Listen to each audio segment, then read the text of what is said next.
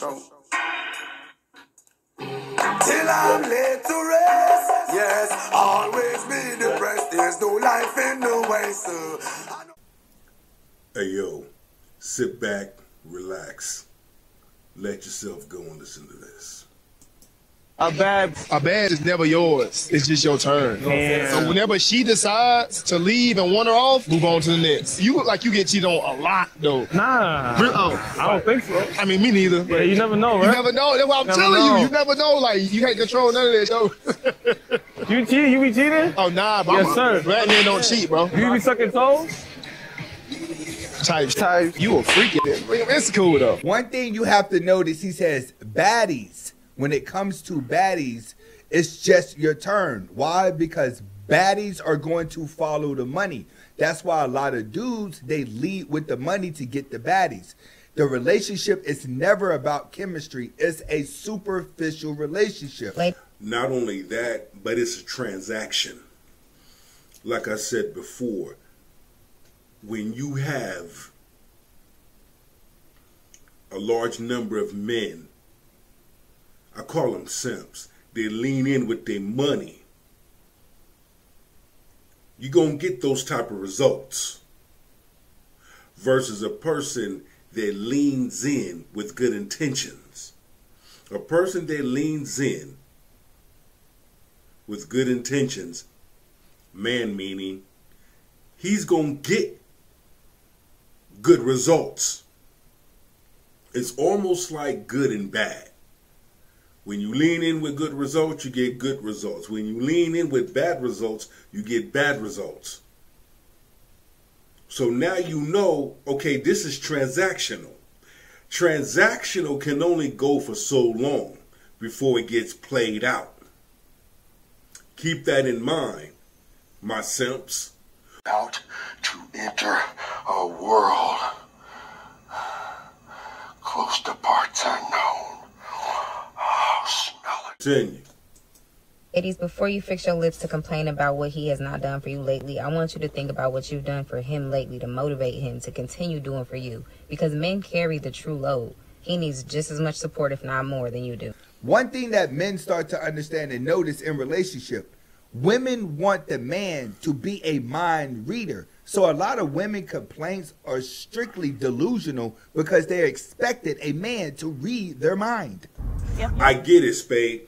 And and to add to that, there's no conversation, there's no communication. Where's the communication?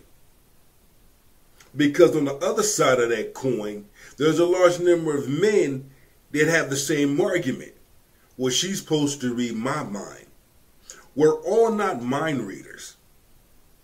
It's old school, simple conversation. Where's the communication foundation laid? Where's that at? The main reason, and even Dr. Ruth, God bless her soul, says the same thing. Communication is key. Communication is key. There's levels to this. Hey, that's all right. That's all right. hurt coming from a nigga, I can tell you right now, you don't need to heal. You don't need to heal, so don't let nobody tell you, oh, you need to heal. You just need some time to yourself. No. You need you a new nigga. You need you a nigga that understand your worth. You need a nigga that's gonna make you smile. You need a nigga that's actually on what you own. You need a nigga that's mentally on what you on. So that means whatever you like. So if you like a nigga that like to go on dates, you need to be fucked with a nigga that like to go on dates. If you don't like explaining yourself, you need to fuck with a nigga that's in tune and who get it. True. But you still must heal first. Where people mess up in relationships is they try to heal a relationship by rushing to get in another relationship. No, you must take time to yourself, heal, better yourself, and then go into the next situation with a smarter consciousness, with a more healthy view of life. Too many people need to be in relationships, so you avoid red flags of others just to keep their companionship. And that's where most people fail. Why? And to add to that, you do not allow your yourself the ability to look within self. You have to be willing to tap into yourself. Look at yourself, accountability. Where did I go wrong? What could I have do better? What can I do better next time? Okay? Not only giving yourself a, the ability and the chance to heal, but also sit back and doing some self check, doing some personal house cleaning within yourself. Main thing is your spiritual life in order. And watch it go, Chico. Something happened to this goal. Something going to happen to you, man. That's what she say to her. Now, she's still trying to use it because she has nothing else going on. And while she's sitting around running around talking about my husband and my the father of my children, and she spends her weekends peddling through sperm banks, looking through catalogs to try to find a donor, honey, you don't know if your baby daddy will be an asthma child because what you will know is that he needed ten dollars to get him a medium-sized pizza, so he ejaculated in a cup so you could have a kid. Now check that. Little message out there for all the women that's trying to go to the sperm bank thinking that you're going to have a child. You have to stop and really ask yourself, what decent man that had his life together went into a sperm bank to ejaculate in the cup so you can have a child? It's so fun. Not only that, but what's going on today, there's so much stuff going on today. You have to we we all have to be cautious about where we go, what we do, who we doing it with, who we're talking to. Okay? Choosing our words wisely because you have some individuals that would get caught up in their damn feelings and their emotions because of what you said, even though you being truthful. And what we've discovered is most people don't like it when you write. Most people don't like it when you put the truth in proper perspective. And I'm stubborn, just like you. So why don't you do me a favor and tell that lighter that fool? Funny to me when men introduce themselves as their street names. Who is Big Money E? Your name is Emmanuel, and that's what I'm gonna call you. Like they'll really look you dead in the eyes and be like, I go by C Easy. Your mother named you Christopher. Don't make me mad. Talking about some big huncho. Who? Bye, Anthony. Because I'm not calling you that. But when you're still dating in the streets, you're still dating the Chads, the Tyrones, the bad boys, the wannabe gangsters. These are the street names that they go by. You cannot try to date these street dudes and then try to shake them into being good guys. Women got to start to learn to start off with the good guy. And and look who you attract. Look who you attract. If all you attract is that, that's what you're gonna get. You know what I see when I look in your eyes? I see a scared little chocolate bitch. Look up on me. We're gonna hit this last one and we're gonna bring it home. Let's get it. Name? I'm Serenity. Serenity. How old are you? I'm 29. 29. And what do you do? I'm in finance. I'm a financial advisor, and then I also am a personal trainer part time. Okay. All right. Cool. And what do you look for in a, in a man?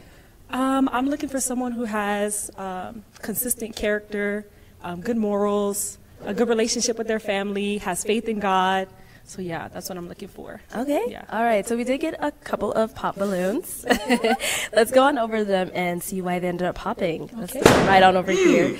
If we can have your name and how old you are. Damn, that's three. Hi, my name is David. I'm 34. Right? Oh, shit. And David, why did you end up popping your balloon? Um, she, very beautiful. You seem strong, like you beat me up. Okay. Is it? okay. So is it like the energy or like what? The No, I mean she she seems much. She seems uh, like I say, very beautiful, but just uh, a little bit more. Masculine. Uh, Masculine. seem just try not to be rude. I just popped my balloon. okay. Okay. I think he's talking about being masculine. She seems a little bit too strong for him and not feminine. Okay. And now, is he your type? Um, very classy gentleman, very well put together. I love the suit and the shoes. Thank you. Um, I would say, yeah, hmm yeah. Very cool. Thank you. Let's go on to our next guy. If we can have your name and how old you are. I'm Obi. I'm 30 years old. Okay. And Obi, why did you end up popping your balloon? Um, you know what I mean? I she's beautiful. I like her smile. She got nice teeth. She got a nice body. You know what I mean? She a personal trainer. I do that on my side too. Um, but I'm not gonna lie, it was just the feet. You The know what I mean? I just I just wasn't fucking with the shoes. You know what I mean? Like you beautiful, but I just Thank you. know the fit just wasn't it for me. Okay. You know what I mean? But other than that, like, you know, Damn. I rock with her. You know what I mean? What Like, the come with blood something clot else, you know what I mean? is? That's about it. But The feet. I ain't never seen that as a turnoff, but hey, different strokes for different folks. Man. Let's get it. And now, is he your type? Uh, very fit, um, physique wise, yes. I would say he's my type, yeah. All right, cool. Thank you. Let's go on to our next guy. If we can have your name and how old you are. Hi, my name's Eric, and I am 38. Okay. And Eric, why did you end up popping your balloon? Uh, I think it's a style thing. I don't like the dress, and I feel like it's not, it's not. It's not a bad dress. It fits you well. It's just I feel like the color. When you're when you're darker skinned, I like for girls to choose things that will stand out to balance that. And so for me, it didn't it didn't draw my attention immediately. That's all. Oh, okay. Yeah, All but you're beautiful as well. Thank you. I appreciate that. I get what he's saying. With her being a brown skinned woman wearing brown tones, it kind of just looks like an all brown color. All right, I get it. Yeah, but the bright something to stand colors, kind of like the baby blue with the girl right here, the host. Like I wouldn't have chose that dress, but I get what he's talking about. Something that's gonna bring out your bring out your Okay. skin. And now, is he someone that is your type? Um, all the fellas today are very well put together. Um, they look like they know have they have style. Uh, so I would say um, not necessarily my type, but very kind gentlemen, very well put together. Yeah. Okay. And is there anything specific that makes him not your type? Um, I would just say that the hair, I guess, like the dreads. Um, I really love a fade, so Okay. that's just my preference. Yeah. Yeah, fair enough. All right. Let's go on to our next guy. Okay. Oh, not him. and we can have your name and how old you are. My name is Joseph. I'm 37. All right. And Joseph, why did you end up popping your balloon? I just told myself in 2024 she got to be five four and under. Is she too tall? And we flipping it because they always want six foot and up. Now we going five four and under. So, you know what? If you was five four, I you'd be my type. Damn, Everything. okay. Yeah, I know. That's how we be feeling. Exactly. Exactly. Now, welcome to the Okay, side. okay. But you All know right, I respect it. You I respect it. You got white teeth. Thank you all you. Yeah. put together. Thank you. I appreciate it. I need five four. Okay, We I can't be respect that. looking each I other respect in the that. eye when you got on heels. Okay. So I need you to be a little. That's fine.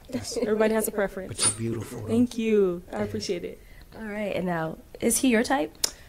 Um, I would say, like I said, I give credit to all the guys today. They really showed up today, Yeah. but the dreads is Dreads. just not my thing. I love a good fade, Yeah. clean cut. Yeah. Okay.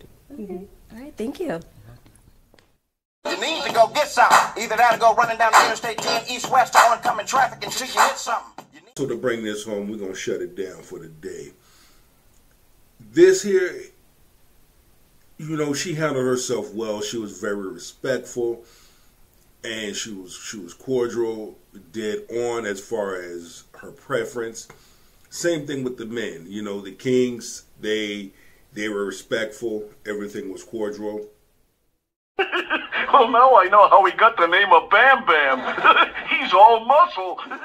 So with that, with that being said, please go to Anthony Spade's channel. Show the king some love.